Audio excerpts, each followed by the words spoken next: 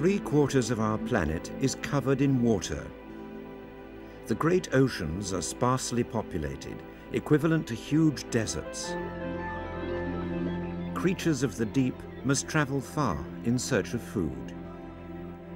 But here and there, submerged mountain peaks break through the waves. Remote islands in a desert sea. Ocean oases.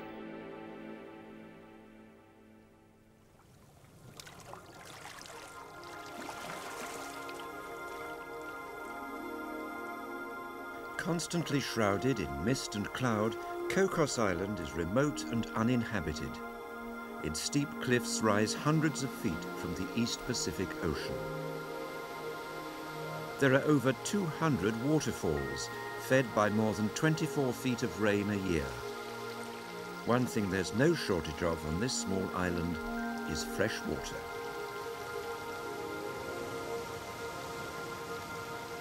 The combination of the climate, the rugged terrain and its isolation has preserved its forests and vegetation.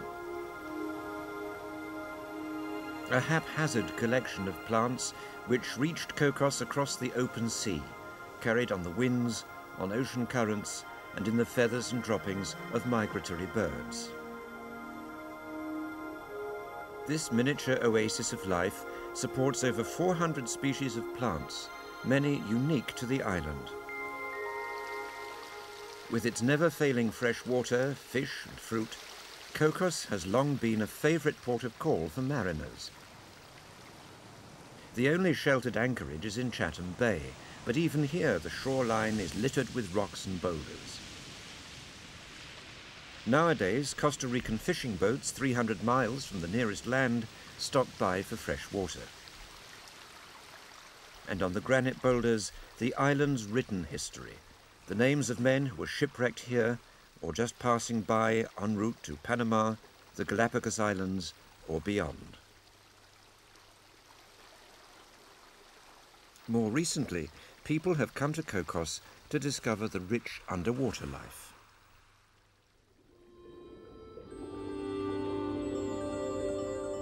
The unpolluted waters surrounding Cocos are the ideal habitat for a wide variety of species. This tiny island, five miles long by two miles wide, is also a magnet for ocean fish, drawn to the abundant food supplies around its rocky walls.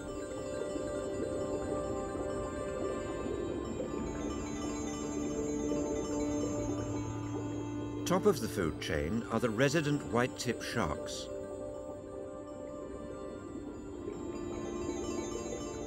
Near the sunlit surface glide manta rays. Stingrays patrol the rocky bottom. But this wealth of life has only been discovered in recent years. For centuries, the Cocos treasure was of a strictly material kind. On a 17th century pirate's map, Cocos is shown far larger than it should be, a sure sign of its importance to buccaneers preying on ships laden with gold, silver, and jewels from Spain's South American colonies. Over the years, priceless treasures have been buried on the island. One of the richest single hoards was the Lima treasure.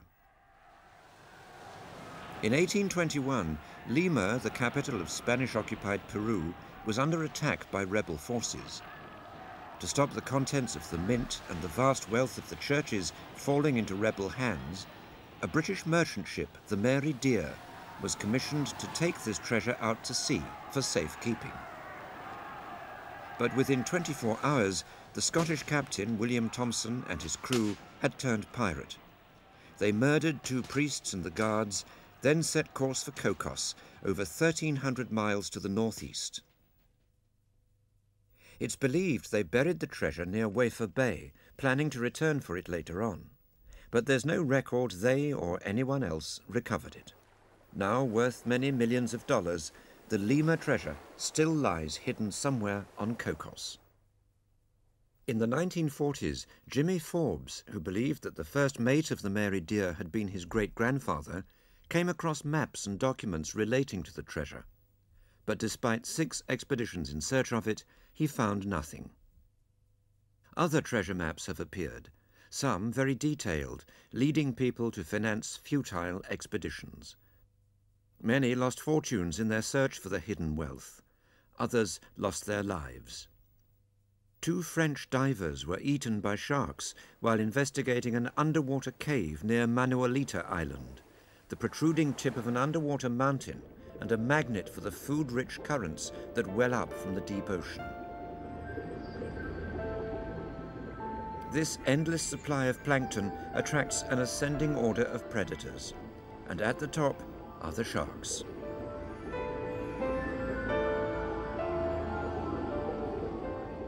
White tips spend most of the day sleeping on the bottom. At dusk, they come awake, teaming up with hundreds of others, forming hunting packs.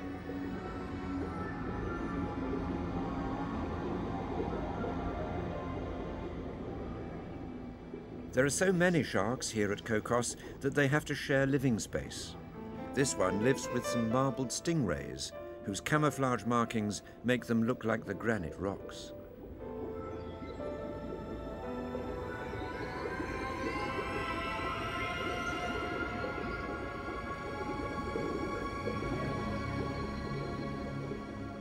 Sharks' eyes can make the most of very little light. However, the majority of them pinpoint their prey by scent alone.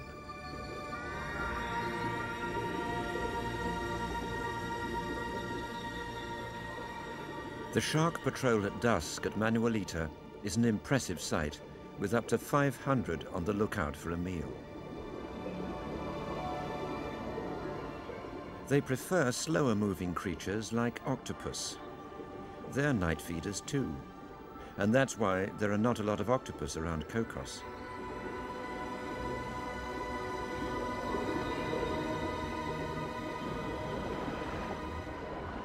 If they're cornered, they have no defense against a white tip, let alone a hungry pack. When the sharks find one, they all crowd in, hoping for a share. Blue jacks hang around in case there are any leftovers.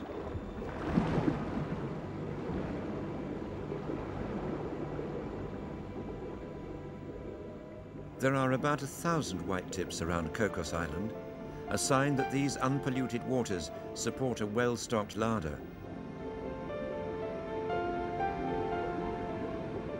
It's probably because this island lies so far offshore and is uninhabited that this dense underwater population survives.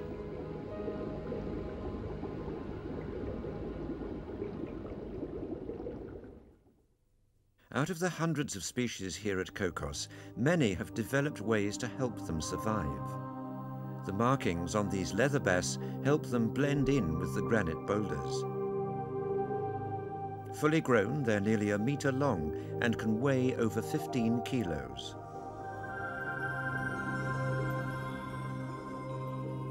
The rocky crevices provide good shelter for the younger fish.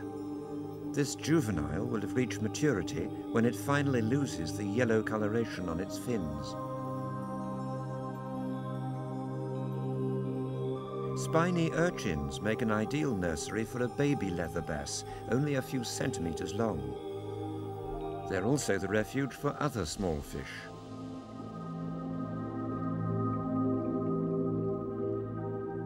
Down here, it's like an overpopulated city a stingray shares a hole with a moray eel.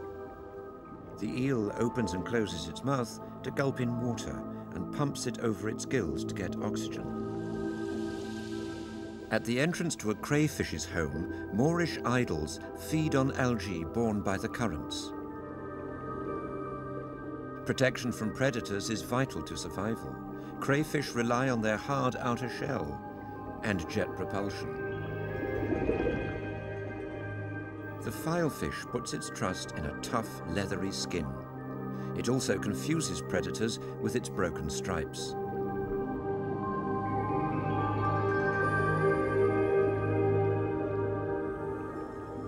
Spots are a powerful keep-off sign, and they're liberally sprinkled over the tiny boxfish. Pufferfish have poisonous skin, This young one is losing its yellow coat, just beginning to reveal the adult spots beneath. It'll be several weeks before it looks like this.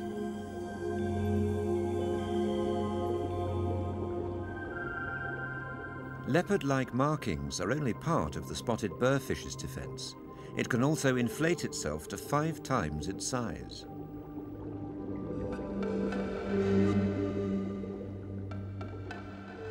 At this ocean oasis, some of the usual rules don't seem to apply. A burrfish, usually a loner, is apparently enjoying the company of a pipefish and a juvenile leather bass.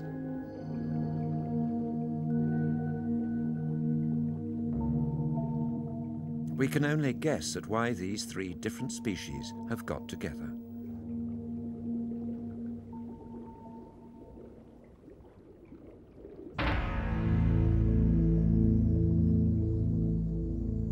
Another peculiarity of Cocos. The rare red-lipped batfish. It lives on the seabed in deep water. Like most bottom dwellers, it's shaped and camouflaged to make it invisible. Until it moves, it blends almost perfectly with the sandy floor. Short, stumpy pectoral fins have almost become legs.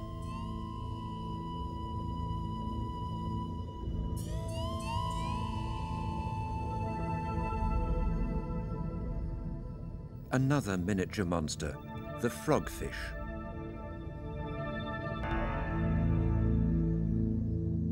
It moves about the rocky walls using its fins as rudders in the current. It's a type of anglerfish, spending most of the time waiting for an unsuspecting creature to be deceived by the lure poised just above its capacious jaws. To help it stay put, its pectoral fins have become more like hands. It's not only very small fish that need to be wary. The frogfish's mouth can expand to 14 times its normal size. From the deep, dark waters of the north side to the sunlit shallows of the south. In Bay Iglesias is a submerged rock its tip only a few meters below the surface. Its sunlit waters and strong currents are ideal for the resident fish from the top all the way down to the bottom at this underwater high rise. A filefish rides the current, trimming its flight with its fins. Large numbers of other fish patrol the waters, rich in plankton and microscopic algae. A hogfish searches the barnacle-encrusted rocks, followed by a striped surgeonfish. A blue demoiselle darts out of its home. Hogfish are very territorial and will chase off any rivals. An angelfish stays put, guarded by a sea urchin. A male emperor fish guarding eggs it won't move from its nest until they are hatched. Strong jaws and blunt teeth are essential for grinding up small shellfish. A combination of unpolluted waters and strong currents supports a population from white-tipped sharks at the top of the food chain right down to the smallest fish at the bottom. Sharks don't have to swim continuously to keep water flowing through their gills. Halfway down submerged rock, they rest in their caves and let the currents do it for them. 25 meters down at the base is an archway, and here it's always busy. Shoals of yellow striped snapper hide in the crevices, darting out to feed. But they might become a meal themselves for fish like giant trevally, which use the fast current to gain extra speed. They herd their prey into smaller and smaller circles before attacking. Fish group together in shoals close to the rock face. There's safety in numbers. From a distance, they could be seen as one large creature rather than a mass of individual ones. Around here are some of Cocos Island's strongest currents, powerful enough to send a diver into a spin. These currents sweep in from the deep ocean. Without the plankton they bring, none of this diverse and interdependent population could survive.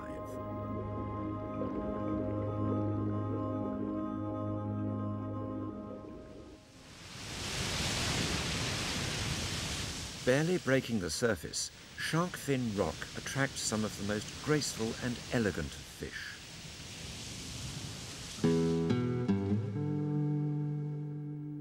Small manta rays, known as mobulas.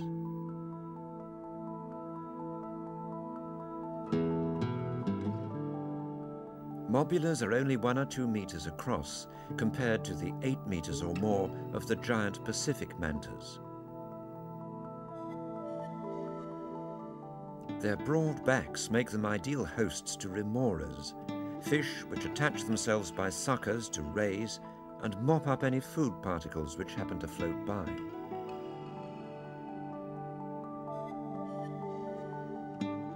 They also clean their hosts of external parasites.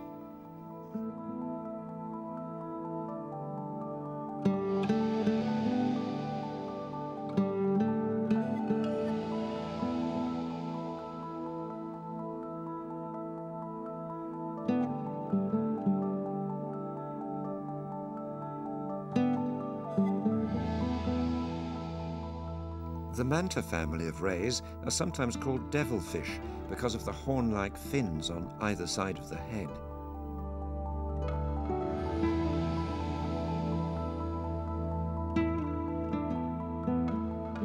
In fact, they're harmless, mainly plankton-eating creatures without even a sting in their tail.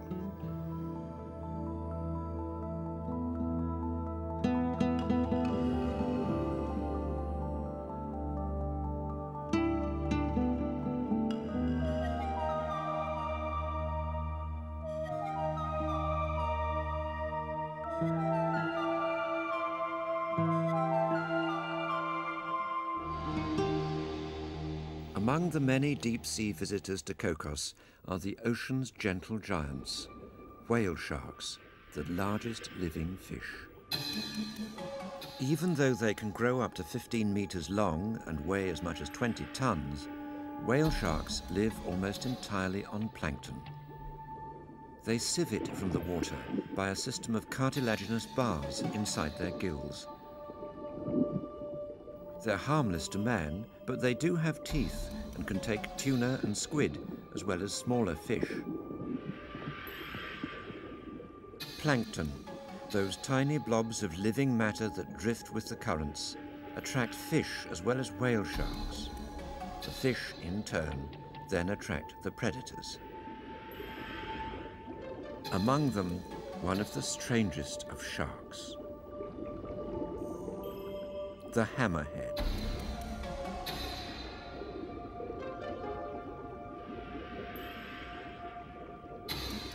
These are scalloped hammerheads, which can reach nearly five meters long. They're not usually seen in such large numbers.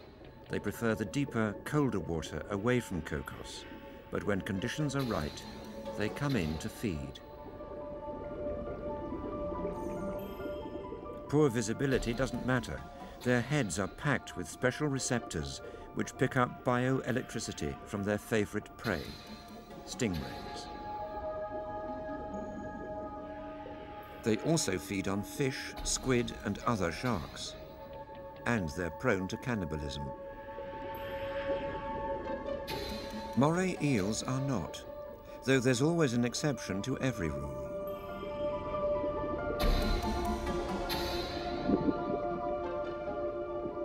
Being very territorial, they don't take kindly to intruders.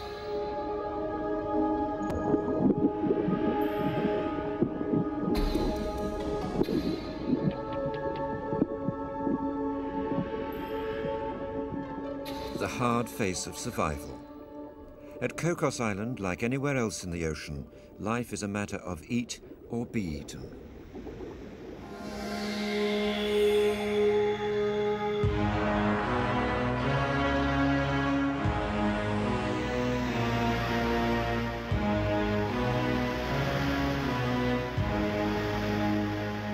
In open water, an unlikely alliance.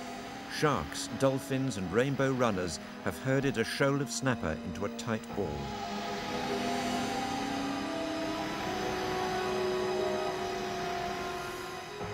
There's no escape. The snapper on the outside are continually trying to hide in the middle, but it's no safer there.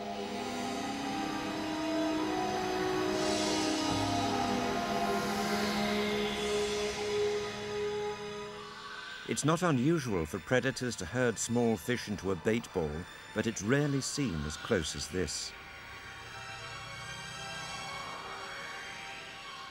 Attracted by the turmoil on the surface, boobies dive for their share, while blacktip and silky sharks conduct the attack from below, joined by rainbow runners.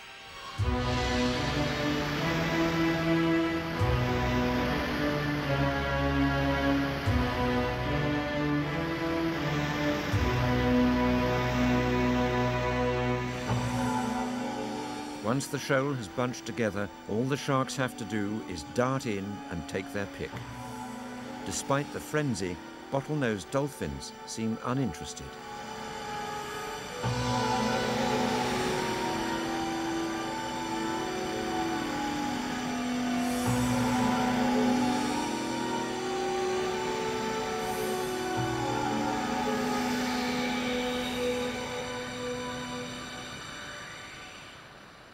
In the open ocean, there are few places to hide from predators.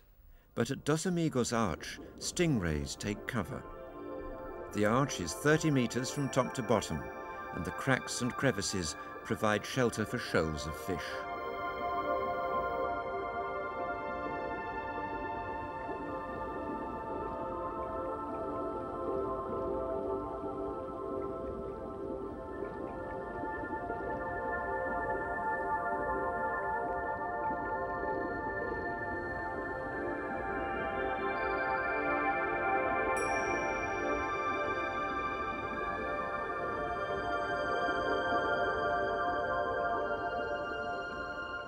These rays are known as marbled rays because of the camouflage granite-like pattern on their backs.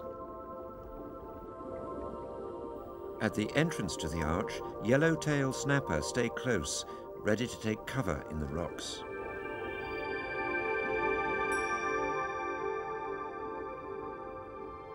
And a solitary jack seeks protection under a large ray. There's perhaps one predator that can upset this delicate balance of nature, and that's man. In the early 1990s, illegal fishing threatened to decimate Cocos's entire underwater population. Fish stocks declined, and with no control, all species were under threat.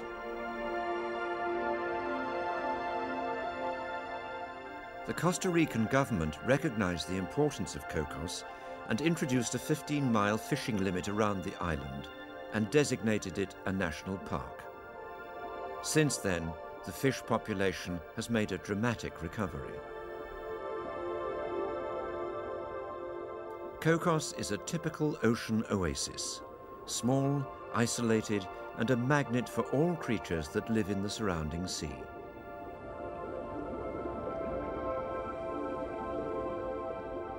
In the open ocean, prey may be hard to find for the larger species. But where rocks break the surface, the currents accelerate and well up in the shallower water.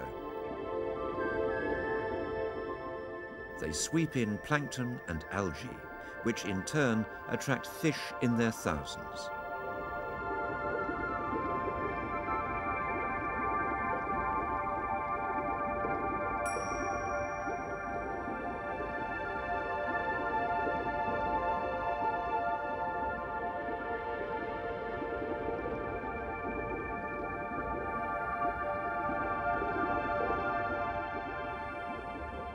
ocean's giants also cruise in from the deep to feed.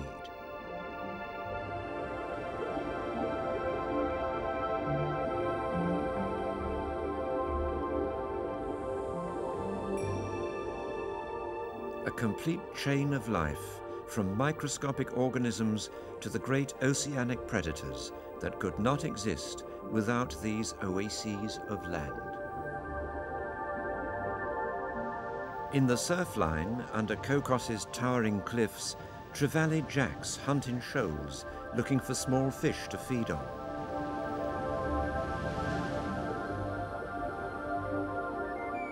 Surgeonfish are herbivores.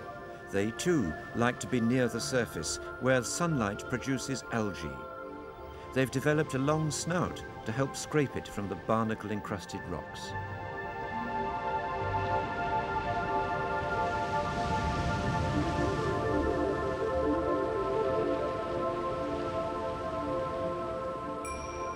There's food for all at Cocos. This tiny island supports over 400 marine species. A wealth of life to be explored.